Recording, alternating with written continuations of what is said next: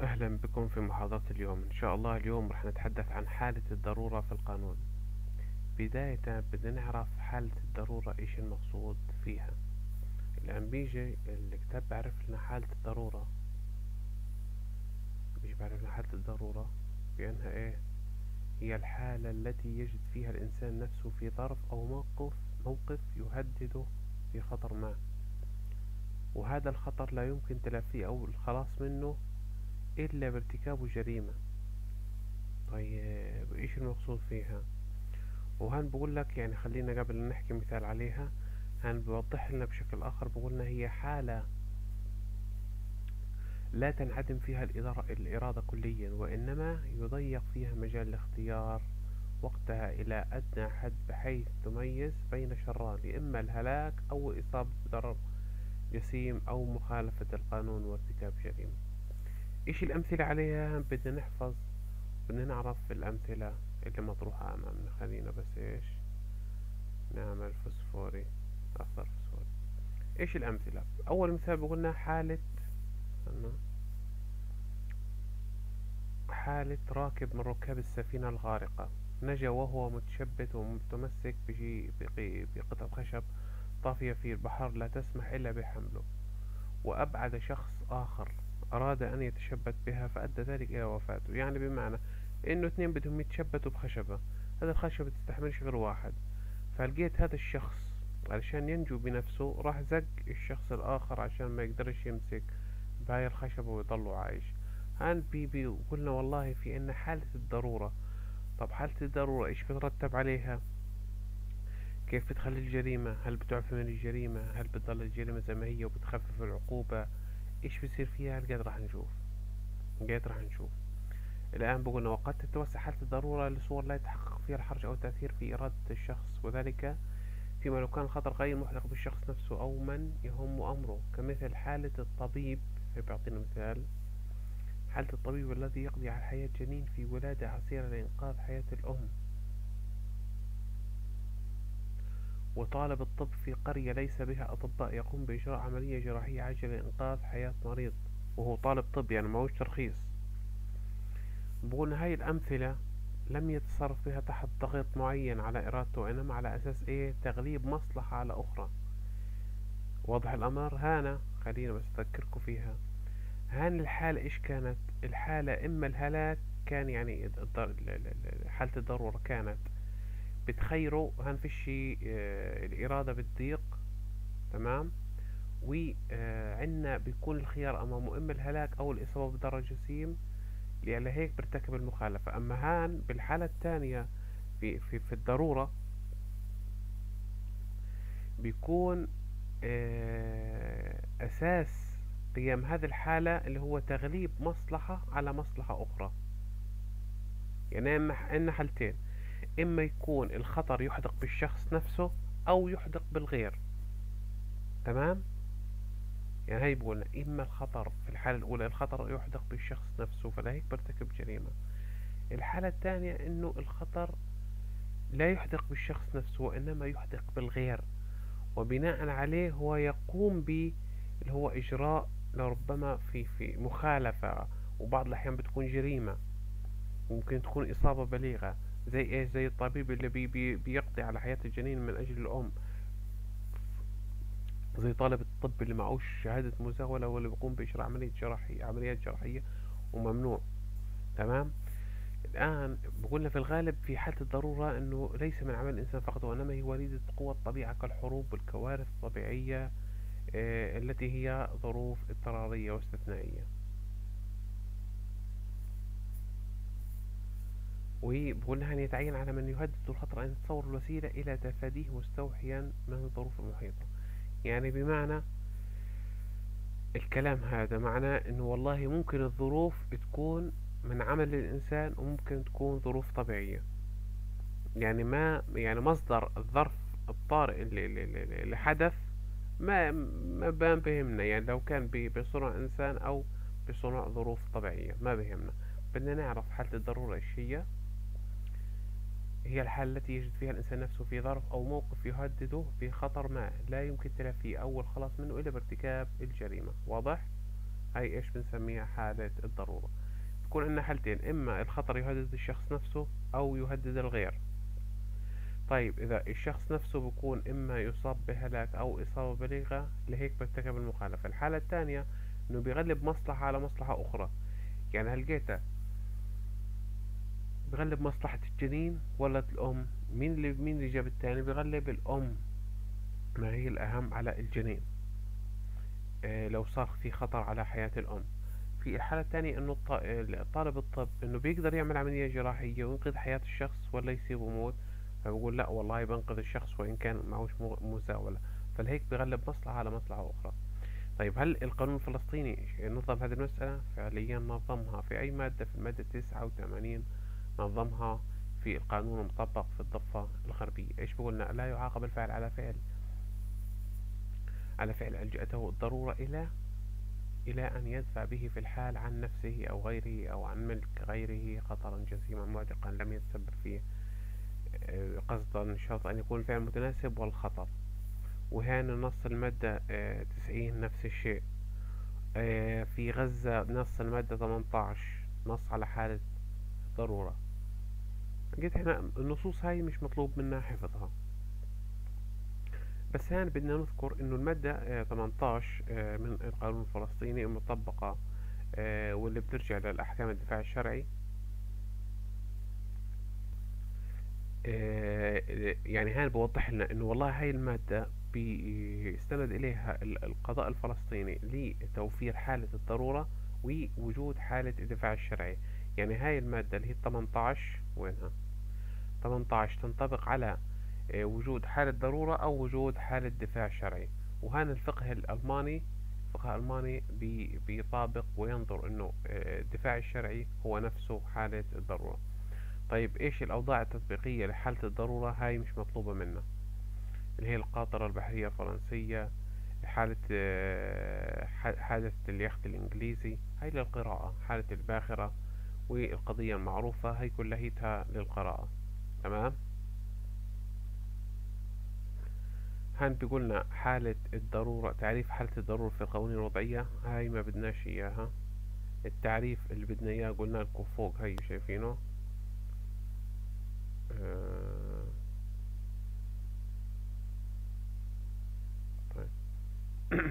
حالة الضرورة هي هي تعريف حالة الضرورة. يا ريت ما حدش ينساها. هي التعريف اللي بدي إياه وبيلزمنا. هاي التعريفات في القوانين الوضعية ما بيلزمنا ولا بدي إياه. هذا ملغي بدي إياه. عندنا تعليل أساس حالة الضرورة. يعني إيش سبب؟ يعني إيجاد حالة الضرورة هاي. في عنا العديد من الأسباب. آه، أول مجموعة إيش بتقولنا أول مجموعة بتقولنا والله يبرر بعض هذا الأساس بفكرة الإكراه المعنوي. الإكراه إيه؟ خلينا نحط أصفر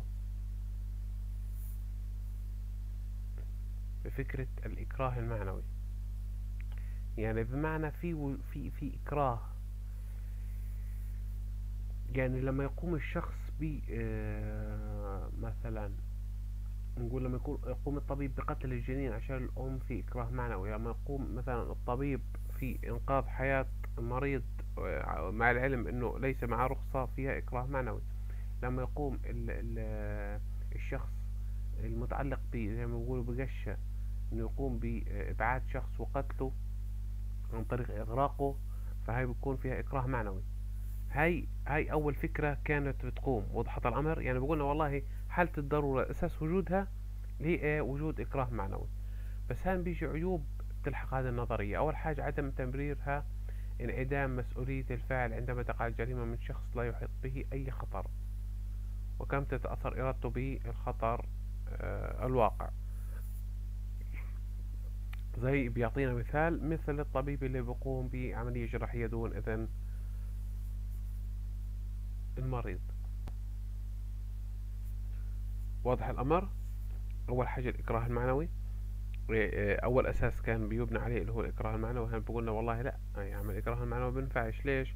لأنه بيبررش بعض الحالات اللي بيكون فيها انعدام مسؤولية الفاعل عندما تقع الجريمة من شخص لا يحيط به الخطأ.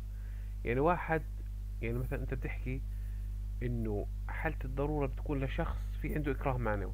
طب لما الطبيب ما يكونش عنده إكراه الطبيب اللي بيقتل مثلا الجنين وبدي على ال... على الأم فيش عنده إكراه تمام؟ بناء على إنه فيش عنده إكراه. طب كيف بدنا بدها تنطبق عليه الحالة إنه نعطيه حالة ضرورة؟ مع إنه فيش إكراه عليه الطبيب. يعني فيش حد بيجبره إنه يقتل الجنين عشان الأم. وبالتالي تنفعش هاي كأساس للنظرية.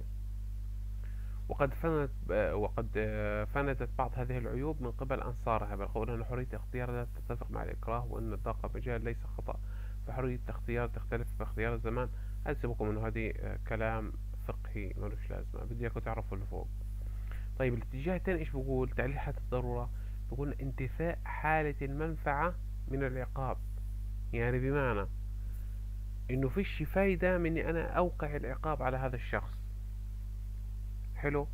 لأنه بقولنا والله إنه الهدف من العقاب هو ردع الجاني وجعله عبرة لغيره. ولكن الجاني في هذا الحالات في هذا الحالات ليس له إيه؟ نية إجرامية. ليس له نية إجرامية. ولكن الظروف هي من استدعته أنه يقوم بهذه الجريمة عشان ينقذ حياته أو ينقذ حياة شخص آخر. يعني زي مثلا الشخص اللي بيكون في البحر يغرق ويدفع الشخص آخر آه، فهان إيش فايدتي إن أنا أعاقبه؟ طب ما هو بدافع عن حياته يعني أنت تتوافر يمكن قريب من حالة الضرورة الشخص بدافع عن حياته. زي ما نحكي عن الطبيب عندما يقوم بإنقاذ شخص وإن كان ليس لا معه شهادة مزاولة فهم بنقول إيش فايدتي إن أنا عاقب الطالب الطب المعوش شهادة مزاولة من إجراء عملية جراحية للمريض وإنقاذ حياته. إيش الفايدة من أعاقبه فهم بقولنا والله حالة الضرورة وجود حالة الضرورة وتبرير حالة الضرورة هذا سببه آه، إني أنا يعني بعاقبش من تتوافر عنده حالة الضرورة بانتفاء حالة المنفعة من العقاب. هان قلنا إكراه في وجود إكراه معنوي هنقول قلنا انتفاء حالة المنفعة من العقاب. ويان عيبوا على هذا الرأي وقالوا والله هذا الرأي يوصلنا إلى نتائج غير مقبولة. ليش؟ قال لما فاد أن الفائدة من العقاب ليس فقط هي المطلوبة بل العدل. أولا هو المطلوب. بالإضافة لأنه هذا لأنه الأخذ بهذا الرأي بصورة عشوائية قد يؤدي إلى فوضى والإفلات من العقاب بالكثير من الحالات. إنه والله كيف؟ والله لما الأم تقتل مثلا رضيعها نقول والله هي مع يعني إيش الفايدة الفايدة من العقاب؟ وبالتالي ما معاقبهاش. هذا في سبب مخفف خذوا بالكم. بس مش إني ما عاقبهاش نهائي. لما يقوم الأبو مثلا بقتل ابنه أقول والله فيش فايدة من العقاب. آه، طب إيش بده يصير؟ بده يصير عندنا فوضى فوضى في آه، في المدن وفوضى في آه، الدولة. واضح الأمر؟ فلهيك تم انتقاد هذا الرأي اللي بيقول إنه ما في فايدة من توقيع العقوبة في حالة الضرورة. بعدها بنيجي للاتجاه الثالث والرأي الثالث. الرأي الثالث وينه؟ آه الاتجاه الثالث. إيش بعلل بقولنا اللي هو الأصل بوجود حالة الضرورة اللي هو العودة إلى القانون الطبيعي. كيف؟ بقولنا بقولنا والله من هذا الرأي إنه القانون الوضعي جاء إيه ليحل محل القانون الطبيعي في تنظيم الأمور. طيب. وفي حال عدم مقدرته على حماية الفرد في أي وقت ولا أي سبب كان بإمكانه العودة للقانون الطبيعي لحماية نفسه بنفسه ليه؟ لأنه القانون الطبيعي كان يقوم على أنه كل شخص يأخذ حقه بنفسه وبالتالي لما يكون القانون الوضعي أو القانون الموجود ما بيحقق لي العدالة لنفسي وما بيمنحني القدرة على أني أنا أطالب بحقي بالحياة مقابل أنه شخص أدفع شخص آخر بده يزاحمني في هذا الحق. فوقتها بدي أرجع للحق الطبيعي للحق في مثل القانون الطبيعي. القانون الطبيعي مثل قانون الغاب إنه بنرجع لقانون الغاب إنه كل واحد ياخد حقه بيده. واضح الأمر؟ وبالتالي لما أنا إذا القانون العادي بده يمنعني من إني اخد حق بيدي بدي أرجع للقانون الطبيعي. والقانون الطبيعي الطبيعي بيمنحني الحق في إني أحافظ على حقي في الحياة لوحدي. وفي هذا الإطار ممكن إني أنا يعني أزاحم الآخرين في حقوقهم في سبيل إني أنا أحافظ على حقي في الحياة. واضح الأمر؟ وهان بقول استنادا لهذا التعليل رفع العقاب عن السارق في سنوات القحط الشديد أيام عمر بن الخطاب.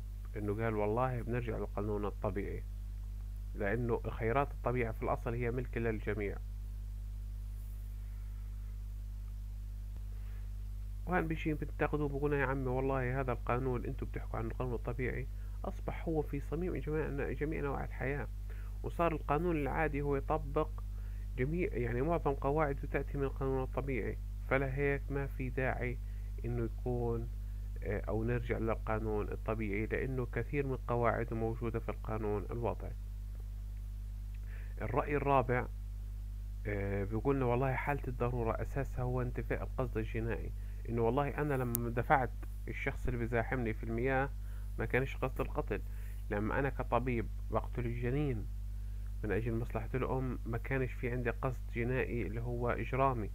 لما يقوم الشخص الطالب آه، طالب الطب لما يقوم بإنقاذ المرضى يقولون والله ما فيش عنده قصد جنائي. وبالتالي الرأي الرابع والرأي اللي أنا بأيده أيضا هو هذا الرأي الأقرب للصواب اللي هو في حالة الضرورة يتم اللي هو انتفاء القصد الجنائي وبترتب على ذلك إنه إحنا بنعفي الشخص اللي قام أو توافرت به حالة الضرورة وارتكب جريمة على غرار آه، وجود حالة الضرورة. مع إنه تم وجود يعني تم انتقاده بإنه والله يخلط بين الباعث والقصد الجنائي. وفي رأي أخير وهو الرأي الخامس آه، اللي تزعمه هيجل آه، وبيعلل امتناع المسؤولية في حالة ضرورة استناد لفكرة تضارب المصالح أو المصلحة الأجدر بالرعاية. وقلنا والله في عنا في عنا مصالح أولى بالرعاية. لقيتها الشخص الغريق أولى إنه يحافظ على حياته ولا حياة غيره؟ طيب الطبيب أولى إنه يحافظ على حياة الأم ولا حياة الشخص الطفل؟ مين الأولى بالرعاية؟ آه، لما يقوم الطبيب بالطالب آه، الطب بالتدخل لإنقاذ شخص من خلال عملية جراحية مين الأولى؟ إنه والله يقول والله أنا معيش شهادة معيش رخصة ويسيب الشخص يموت ولا يتدخل ويتجاوز عدم حصوله على آه، رخصة الطب. فلهيك بقولنا والله أساس حالة الضرورة وجود فكرة تضارر المصالح ووجود المصلحة الأجدر بالرعاية. يعني خلينا نعتمد المصلحة الأجدر بالرعاية. واضح الأمر؟ طبعا الانتقادات هاي بديش إياها. الانتقادات بتاعت هذا الرأي بديش إياها خلص اعتمدوا آه عنا خمس آراء اعتمدوها وعرفوا لي كل رأي إيش الفكرة اللي بقوم عليها والرأي الأخير المصلحة الأجدر بالرعاية وهي إيش قال فيها فهاي الرأي. الانتقاد بتاعه بديش إياه. عنا شروط حالة الضرورة. يعني عشان نحكي إنه في عنا حالة ضرورة في عنا شروط. أول شرط فيها اللي هو أن يكون الخطر جسيم. وكل القوانين إيش بتقول؟ والله يجب أن يكون هذا الخطر اللي بده يهدد الشخص يكون جسيم. ما بينفعش خطر يعني هين إيه بده يصيب الشخص يقوم بارتكاب الجريمة على إثره. يعني واحد بده يغرق ويموت ممكن يرتكب جريمة أوكي. بس واحد يقول والله إيه واحد مثلا حبسه في غرفة يروح يقتله مثلا يعني بيمزح معاه مثلا. حبسه في غرفة ليوم كامل يروح يقتله طبعا ما بيبررش. أو واحد هدده بالسلاح يروح يقتله طبعا فيش عنا حال فيش عنا خطر جسيم. إذا توافر الخطر الجسيم بيكون توافر عنا أول شرط من شروط حالة الضرورة. يجب أنه يترتب على على وجود هذا الخطر وهي وجود آه وجود خوف من اللي هو الإضرار بهذا الشخص آه أو إضرار بحياته. وطبعا معيار اللي هو تحديد الجسامة. بقولنا والله الشخص العادي متوسط هل إنه آه يرى إنه هذا الأمر جسيم ولا يمكن تلافيه أم لا؟ يعني هل في عنده حرية إرادة أو في عنده جسامة خطر؟ الشرط الثاني إنه يكون الخطر حال يعني إنه يكون وشيك الوقوع أو بده يعني يحدث قريبا جدا. واضح الشرط الثالث أن يكون الخطر مهددا للنفس أو المال. يكون مهدد لنفس الشخص أو مال هذا الشخص. الشرط الرابع لا دخل لإرادة الفاعل. هنا غلطان فيها. لإرادة الفاعل في حلول الخطر. لا دخل لإرادة الفاعل في حلول الخطر. يعني ما يكونش الشخص نفسه هو اللي اللي يتسبب في هذا الخطر. يعني واحد ما نقولش والله واحد نقول واحد أشعل الحريق مثلا في البيت وبعديها يروح يقول والله أنا بأنقذ نفسي عشان أنقذ نفسي أروح أقتل الآخرين. أقول والله في سبيل إني أنا آه، أنقذ نفسي أروح أقتل الآخرين عشان أطلع من البيت وأنا أكون أنا نفسي اللي أضرمت النار بالبيت. يعني بمعنى آخر أنه لا يكون لإرادة الفاعل دخلا في حدوث هذا الخطر الشرط الخامس عدم التزام الشخص بتحمل الخطر. إيش معنى ذلك؟ معنى هذا الشرط إنه إنه ما يكونش هذا الشخص ملزم بتحمل هذا الخطر. يعني كيف؟ الشرط الخامس مش مش واضح كتير خدوا بالكم في الصياغة. هم بقولنا عدم التزام الشخص بتحمل الخطر هو الشرط الخامس مفترض يعني يصيغه إنه أن لا يكون الشخص ملزم بتحمل هذا الخطر. صيغوه أنتوا عندكم اكتبوا كتابة. ألا يكون الشخص ملزم بتحمل هذا الخطر. كيف؟ زي والله نقول رجل مطافي رجل مطافي ملزم بتحمل هذا الخطر. يعني لو صار عنده حريق ما ينفعش يروح يرتكب جريمة عشان إيش يتلافى هذا الخطر لأنه هو عارف إنه في خطر في في حال وجود حرائق.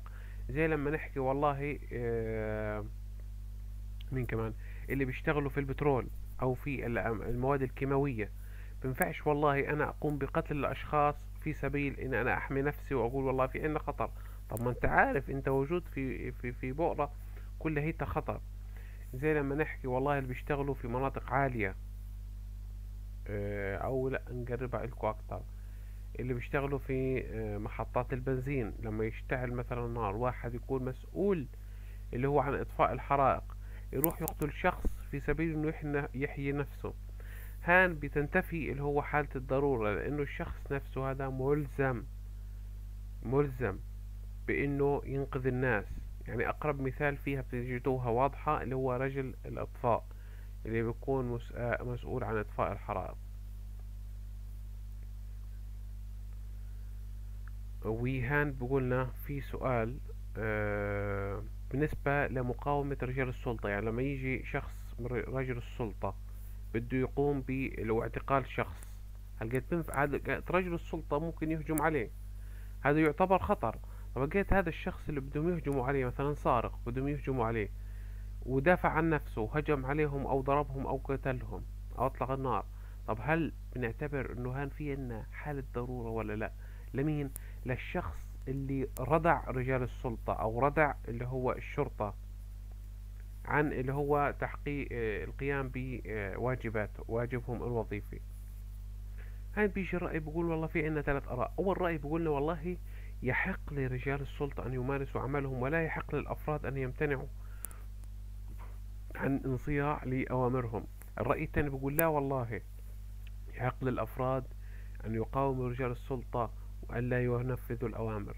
الرأي الثالث وهو الأصح بيجي وسط بقولنا والله يجب على الأشخاص أن يقوموا ب اللي هو تلبية الأوامر والانصياع لأوامر السلطة. ولكن إذا تجاوزت السلطة أو رجال الشرطة آه، اللي هو يعني تجاوزوا حدودهم فيجوز للشخص أن يردع رجال السلطة ولا ينصاع لهم. واضح الأمر؟ قد نيجي لنقطة ثانية آه، وهو الفعل. يعني يعني في الشروط أوضح لكم إياها. في الشروط شروط حالة الضرورة. أول حاجة كنا بنتحدث عن إيه؟ عن الخطر. وقلنا في عندنا خمس شروط للخطر. الآن بدنا نيجي للفعل. للفعل اللي هو آه، بيتم حالة الضرورة على إثره. في عنا شرطين. الأول أن يكون الفعل هو الوسيلة الوحيدة للتخلص من هذا الخطر. الثاني أن يكون من شأن الفعل التخلص من هذا الخطر. واضح؟ عشان إحنا نحكي والله في عنا حالة ضرورة يجب أن يكون هذا الفعل هو الوسيلة الوحيدة. إذا فاكرين زي ما قلت لكم في الدفاع الشرعي ما يكونش عندي أنا مثلا عصاية ومسدس وكلاشين و RPG وأروح أنا مباشرة لل RPG. فبكون هنا في عنا إيش في عنا مشكلة لأنه مش الوسيلة الوحيدة للتخلص من هذا الخطر. الثاني أن يكون من شأن الفعل التخلص من هذا الخطر. يعني الإشي اللي أنا بدي أعمله يعني راح يؤدي إلى التخلص من هذا الخطر. قلنا يشترط لتوافر حالة الضرورة ألا يكون في قدر قدرة الجاني دفع الخطر الذي يهدد بوسيلة أخرى. يعني زي ما قلت لكم ما يكونش في عنده وسيلة أخرى ويستخدم هاي الوسيلة. ما يكونش عنده مثلا عصاية يروح يستخدم مسدس أو كلاشين. إذا كان عنده خيار واختار والله الأصعب واللي أكثر شراسة لا هاني بتختل حالة الضرورة. يعني يجب أن يكون الوسيلة الوحيدة. وهان لا يشترط يعني مش بالضرورة أخف ولكن هي الوسيلة الوحيدة. وبعدين هل بنيجي بقولنا في النقطة الثانية بقولنا آه إذا كان يعني يحدث جسامة كبيرة فيختار الجسامة الأقل. وبعدين بقولنا والله إذا القاضي تبين عنده أنه في عنا وسيلة أخرى يمكن أن يلتجئ إليها والتجأ لي آه التجأ لهاي الوسيلة اللي هي الأكثر ضررا فبصير عندنا خلل في حالة الضرورة. طبعا مين بيحدد إنه هاي الوسيلة الوحيدة ولا غير الوسيلة يعني ولا في عنا غيرها؟ طبعا القاضي هو اللي بيحدد إنه الوسيلة الوحيدة أو في غيرها. طيب الشرط الثاني طبعا بقولنا تتجه إرادة الجاني إلى التخلص من الخطر بفعل مباح. إيش المقصود بهذا الأمر؟ يعني يجب إنه الفعل اللي بده يقوم فيه إنه يكون مباح. يعني اقولكوا كيف.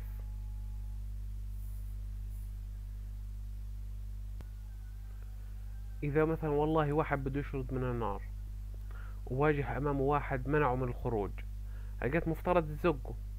يعني يعني يدفعه للأمام عشان يقدر يشرد والله ما قدرش يدفعه آه، واعترض طريقه بيقدر هذا الفعل مباح إنه يدفعه قلت لو ما قدرش والله يدفعه بيقدر يرتكب. إذا ارتكب الجريمة في حينه فبكون عنده آه توافر لحالة الضرورة في هذه الحالة. هل بقول يثور تساؤل حول ارتفاع الفاعل في حالة الضرورة بغض النظر عن الجريمة والأضرار المترتبة عليها. المقصود فيها كيف الارتفاع؟ إنه والله عنده شخص يعني مثلا واحد بده ينتقم من مين؟ مثلا واحد بيشتغل طاهي. آه، وفي آه، شخص بده ينتقم من كل من يعني يعمل في المطعم أو كل من يزور المطعم. فبيجي بيخطف ابن هذا الطاهي وبهدده والله بدك تحط سم في الطعام لجميع من آه، يأتوا لهذا المطعم.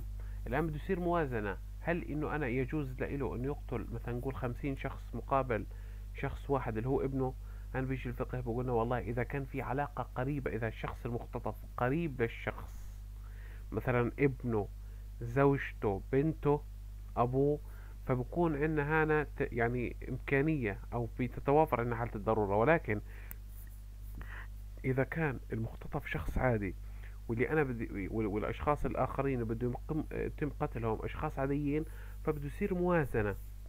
بده يصير موازنة مين الأخف ضرر فيهم؟